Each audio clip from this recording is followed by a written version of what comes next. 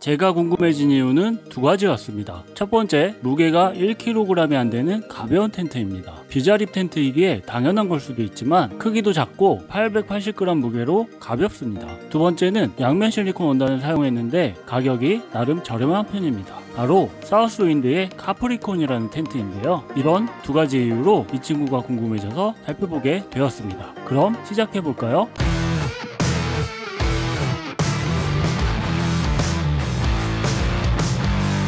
Hi guys 안녕하세요. 레몬입니다. 사실 이 두 가지 이유가 이 텐트의 전부이긴 합니다. 바로 사우스 윈드의 카프리콘이라는 텐트인데요. 양면 실리콘 원단과 가벼운 무게가 카프리콘의 가장 큰 특징입니다. 그래서 정말 궁금했던 텐트였는데 이렇게 실물로 만나보게 됐습니다 이 영상을 보시고 어 이거 괜찮은데? 하고 생각이 되실 분들을 위해서 혜택을 준비했으니까요. 관련된 내용은 영상 뒤에 그리고 영상 하단에 남겨두도록 하겠습니다. 어 근데 제가 처음에 생각했던 거랑 조금 다르기는 한데 아무튼 저랑 함께 이 텐트를 살펴보시죠. 먼저 이 안에 다 들어가 있습니다. 엄청 작죠? 하이킹 폴을 사용을 해서 설치를 하는 비자립 텐트라 사실 내용물은 별거 없는데요. 이게 답니다 전부예요. 근데 팩은 어, Y 팩이라서 조금 아쉽기는 하네요. 가이라인은 두 개 있고요. 팩은 총 8개 이렇게 있습니다.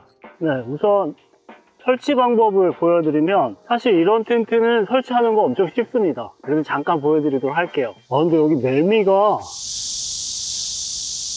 아 여기 매미가 많죠 여기? 요건 좀 감안을 해주시고 최대한 매미 소리 잡기는 할 건데 감안을 해주시고 좀 네. 푸프린트를 보면은 이쪽 면은 코팅이 되어 있고요 이쪽 면은 코팅이 안 되어 있는데 이거 정말 많이 물어보시는데 코팅이 되어 있는 쪽이 위쪽인 게 좋습니다 네. footprint를 펼쳐주고 여기에 스킨을 펼쳐주고요 그리고 peg down을 해주면 되겠죠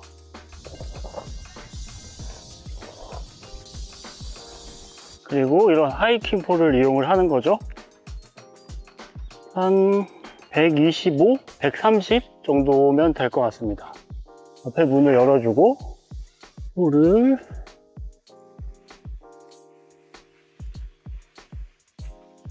그리고 팩다운을 마저 해주면 됩니다. 그리고 이제 텐션을 줘서 네. 네, 여기 살짝 삐뚤어지긴 했는데 이런 모양입니다. 야 이거 생각보다 크네. 그럼 이렇게 설치가 끝났습니다. 아주 쉽죠? 근데 이거 처음 해보시는 분들은 약간 어려울 수도 있지만 네, 익숙해지면 되게 설치는 쉽고요. 그리고 폴 높이는 130이 딱 적당한 것 같습니다. 그럼 좀 더 가까이 살펴보죠. 팩은 총 8개를 다 팩다운을 해줍니다. 가이라인 포인트는 하나, 둘, 셋, 넷 그리고 이 앞쪽에도 가이라인을 걸어줄 수가 있는 이 줄이 아예 달려 있습니다. 팩다운을 해주는 부분은 네, 이렇게 보강이 돼서 더 튼튼하게 되어 있고요. 그리고 팩다운 해주는 부분은 이렇게 당겨주는 부분도 있고요. 의자재도 아주 깔끔한 편이긴 합니다. 그리고 바닥에 착 붙어 있습니다. 네. 문을 한번 열어보면 은 우선 지퍼는 방수 지퍼로 되어 있습니다. 이 부분이 좀 특이해요. 그리고 위에도 이렇게 있어서 투웨이 지퍼로 되어 있고요. 문을 어, 열어보면은 이렇게 아주 부드럽게 오 좋아 좋아. 문을 열어서 야 전실 엄청 크구나. 이렇게 말아서 고정을 해주게 되죠. 와 전실 진짜 엄청 크다. 이렇게 벤틸레이션을 메쉬로 막혀 있고요. 와 이 전실 공간이 엄청 커요. 네. 엄청 크죠? 제가 들어가 보면은 엄청 큽니다. 와 진짜 크다. 뭐 이 문도 빼가지고 빼가지고 이렇게 말아서 둘 수도 있고 네. 펼쳐서 홀로 해서 이렇게 당길 수도 있겠죠? 이런 부자재도 되게 신경 쓴 것 같습니다. 정말 큽니다. 그죠? 근데 여기 밑에가 좀 축 처지네. 이렇게 두 개 포인트로 하면 좋았을 텐데. 네. 폴이 좀 삐뚤어졌구나 어, 폴을 좀 앞으로 빼니까 이게 어, 제대로 되네요 네. 보시면 특징이 이너 텐트가 있는데요. 이렇게 메쉬로 된 문이 있습니다. 그리고 지퍼가 세 방향으로 되어 있죠. 그리고 요런데 봉제를 보시면 아마 전체적으로 다 이렇게 되어 있을 텐데요. 요거 얘기도 뒤에서 잠깐 말씀을 드리도록 할게요. 모서리 같은데 마감을 보면은 깔끔한 편인 걸 볼 수가 있습니다. 전체적으로 느낌이 깔끔합니다. 이너 텐트 문을 열어보면은 세 방향으로 되어 있고요. 이렇게, 이렇게, 그리고 이렇게 열리게 되고요. 문은 역시 옆에다가 고정을 할 수가 있습니다. 처음에 보셨을 때 이게 inner 텐트에 문이 있기 때문에 어, double wall이구나 라고 생각하실 수도 있겠지만 보시면은 원단으로 되어 있습니다. single wall이죠 안쪽은 그래서 요 밑으로 이렇게 바람이 빠질 수 있게 환기가 될 수 있게 ventilation이 위치를 하고 있고요. 위쪽으로도 이렇게 ventilation이 위치를 하고 있습니다. 그리고 여기 주머니가 있는 게 좀 귀엽네요. 예, 봉제 같은 것도 아주 깔끔한 편이긴 합니다. 그리고 요거 봉제 얘기를 지금 말씀을 드려야 되겠다. 이 원단의 특징이 이 안쪽에 실시링 처리를 할 수가 없어요. 그래가지고 봉제가 이렇게 봉제가 필요한 부분은 두 개를 엮어서 하는 봉제로 모든 부분이 다 처리가 되어 있습니다. 그래서 안쪽에 심실링이 없어서 이거 비 새는 거 아니야 라고 생각을 하실 수도 있는데 어, 뭐 물론 실제로 사용을 해봐야지 알겠지만 워낙 만듦새가 꼼꼼해가지고 그럴 것 같지는 않아요. 네. 실내 공간을 잠깐 보여드리면은 뭐 두 명이 쓸 수는 있는데 한 사람은 텐트가 내 얼굴 앞에 있어요. 뭐 이쪽에서 쓰는 사람은 괜찮은데 그래서 이거는 딱 혼자 쓰기 괜찮을 것 같아요. 와 진짜 덥다. 이 전에 찍었던 영상이 매미 소리가 진짜 너무 심해가지고 이거는 도저히 살릴 수가 없겠다 싶어서 재촬영 나왔거든요. 근데 여전합니다. 아이고 그래도 이렇게 기다려가면서 매미가 잠깐 멈추기를 기다려가면서 다음 이야기를 이어가도록 하겠습니다. 안돼 우리가 내 매미한테 너무 뭐라고 하면 안 돼요. 에. 에. 근데 너무 시끄럽긴 너무 시끄러워. 에. 와 진짜 너무 덥네요. 이 텐트의 가장 큰 특징은 원단입니다. 양면 실리콘 원단을 사용을 했죠. 저는 개인적으로 양면 실리콘 원단이 최고다라는 생각은 안 하고 있습니다. 상황과 용도에 맞는 그런 텐트가 있으니까요. 아무튼 15데니아 410T 나일론 립스탑 양면 실리콘 원단을 사용을 했습니다. 쉽게 말씀을 드리면 힐레베르그와 비슷한 원단이라고 보시면 좋을 것 같아요. 물론 힐레베르그 원단이 훨씬 더 좋고 훨씬 더 비싸죠. 하지만 가성비 제품에도 원단에 대한 수치를 정확히 표시한 거는 아주 인상적이었고요. 이런 거 표시 안 하는 데도 있거든요.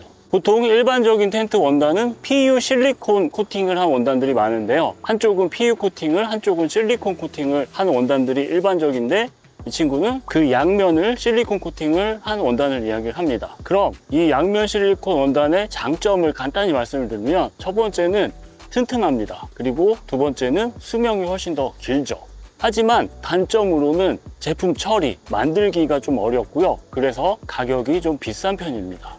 그럼 이 텐트의 가격은 얼마냐? 제가 알고 있기로는 현재 약 39만 원 정도에 판매가 되고 있습니다. 39만 원이면 비싼 거 아니야? 이렇게 생각하실 수도 있는데 저렴한 가격이에요. 네. 1kg이 안 되는 무게의 양면 실리콘 원단을 사용을 했고 또 TP 텐트의 이런 텐트는 저는 처음 봤습니다. 뭐 물론 있을 수는 있겠는데 그래서 보자마자 오 이거 궁금하다 하는 생각을 하게 됐습니다. 그럼 지금까지 카프리콘 이 친구의 장점만 말씀을 드렸다면 지금부터는 아쉬운 부분을 말씀을 드려보도록 하겠습니다. 이 텐트의 형태가 비자립 형태의 TP 텐트이기 때문에 옆쪽 공간이 죽는 거는 저는 아쉬운 부분은 아니었습니다. 그리고 뭐 이렇게 문이 축 늘어지는 것도 그냥 제 개인적인 그냥 취향이니까요 근데 가장 큰 첫 번째 아쉬운 점은 이 설치 공간이 생각보다 많이 필요하다는 게 아쉬운 부분이었습니다. 텐트를 설치하기 위해서 2m 50에 2m 50의 공간이 필요한데요. 제가 사용하고 있는 다른 텐트인 카퍼스파 같은 경우에 이 친구보다는 공간이 덜 필요하거든요. 뭐 물론 살짝 비슷하긴 하지만 그래서 우리가 백패킹을 가면은 캠핑을 가면은 항상 넓은 공간이 있는 게 아니잖아요. 그래서 이 설치 공간이 약간 제약이 될 것 같다는 생각이 들어서 그게 첫 번째 아쉬움이었고요. 그리고 두 번째 아쉬움은 바로 이 풋프린트입니다. 이 풋프린트가 어, 무거워요. 네. 풋프린트의 무게를 실측을 해보면 약 244g입니다 텐트 바닥이 좀 얇아가지고 정신 건강에는 푸프린트를 사용하는 게 좋을 것 같다는 생각을 했는데요. 아니 텐트 전체 무게가 팩까지 다 해서 878g인데 이 푸프린트만 244g이라는 게좀 예, 미스매치 같다는 생각이 들었습니다. 그래서 가볍게 해서 한 1kg에 딱 맞췄으면 어땠을까? 아, 이거 너무 욕심인가? 그리고 세 번째는 바로 결로겠죠. 네, 무게를 줄이기 위해서 이렇게 만든 것 같은데 더블롤 텐트가 아닌 싱글롤 텐트죠. 안쪽이. 그래서 이 원단이 안 그래도 좀 결로가 심한 편인데 어, 비가 오는 날이나 지금처럼 좀 습기가 있는 날에는 분명 네, 결로가 물이 뚝뚝 떨어질 것 같다는 생각이 들었습니다. 근데 저는 개인적으로 그렇게 결로에 민감한 편이 아니라서 예, 밖에 나와서 물 좀 맞고 그러면 어때요? 예, 하지만 분명 결로가 더블롤 텐트에 비해서는 조금 심할 것 같다는 생각이 들어서 그거를 아쉬운 점으로 꼽아봤습니다. 그냥 예, 1인용으로 사이즈 좀 줄이고 전실 좀 줄이고 차라리 더블롤로 나오면 정말 좋겠다는 생각이 다시 한번 들었고요. 하지만 이 텐트가 보시다시피 전실이 엄청 넓습니다. 이거 길이만 125인가? 그랬던 걸로 기억이 되거든요. 문을 닫으면 안에 실내 공간이 상당히 넓기 때문에 차라리 이런 습기 많은 여름철보다는 제 개인적인 생각은 겨울에 사용하면 아주 좋을 것 같다는 생각을 해봤습니다 아 근데 지금 너무 더운데 겨울 얘기하니까 좀 이상하긴 하네요. 네. 그리고 네 번째 아쉬운 부분은 제가 원래는 세 가지만 생각을 하고 있었는데 1박 정도 텐트를 사용하니까 그 아쉬운 부분이 보이더라고요. 이래서 텐트는 써봐야 된다니까요. 기본적으로 바닥이 착 붙어 있어서 그런지 그리고 또 뒤쪽에 문이 없어서 환기가 좀 잘 안 됩니다. 더워요 네, 바람이 잘 안 통해요. 그래서 진짜 이런 여름에 사용하면 너무 덥고요. 근데 여름에 텐트는 항상 덥죠. 그래서 계절에 따른 그런 아쉬운 부분도 좀 있었습니다. 아무튼 정리를 해보면 이 가격에 이 무게에 이런 quality에 이 원단을 사용한 텐트들 잘 없습니다 지금 뭐 비슷한 거 떠오르는 텐트가 몇 개 있는데 저는 어 얘도 나쁘지 않은 것 같다는 생각이 들었어요. 그래서 제가 만약에 캠핑을 할 때 공간이 어느 정도 확보가 되고 날씨가 그렇게 습하거나 덥지 않다면 이 텐트는 고민을 할 텐트가 될 것 같다는 생각이 들었고요. 그러면 여기까지 지금 보시고 어 이거 텐트 괜찮은데? 한번 사서 써볼까? 하는 생각을 혹시나 하시는 분들이 있으실 수도 있으니까 제가 알리익스프레스와 함께 소량으로 예, 이벤트를 준비를 해봤습니다. 그래서 그거에 관련된 내용은 영상 하단 자세한 내용 확인하시는 게 좋을 것 같고요. 혹시나 생길지도 모르는 관세에 대한 부분도 좀 풀어놨으니까 꼭 체크를 해보시는 게 좋을 것 같습니다. 아니 그리고 제가 리뷰 참 많이 했었죠. 근데 저는 뭐 사라고 말씀드린 적 없습니다. 안 필요하면 사지 말라고 오히려 말씀을 드리는 편이에요. 네. 아니 얼마 전에 에 아니다 아 그리고 이거 써보다 보니까 또 어, 조금 불편한 게 조금 있었는데요. TP 텐트라서 어쩔 수 없는 부분인데 여기가 이렇게 떨어지잖아요. 그래서 안에 앉아서 뭘 하다 보면은 자꾸 머리가 닿아요 텐트에. 그럴 때는 어, 여기를 이렇게 당겨주면은 여기 위에 공간이 좀 생겨서 괜찮을 것 같다는 생각이 들었습니다. 그럼 이 텐트가 궁금하셨던 분들께 이번 영상이 조금이나마 도움이 됐기를 바라며 이번 이야기는 여기서 마무리하도록 하겠습니다 감사합니다. 아, 그리고, 어, 좀 전에 잠깐 비가 와가지고 이걸 좀 말려야 되긴 하는데 정말 이 텐트야말로 패킹하실 때 예, 그냥 이렇게 꾹꾹 눌러서 예, 이렇게 딱 음. 아 이거 비 오는 날 한번 써봐야 되는데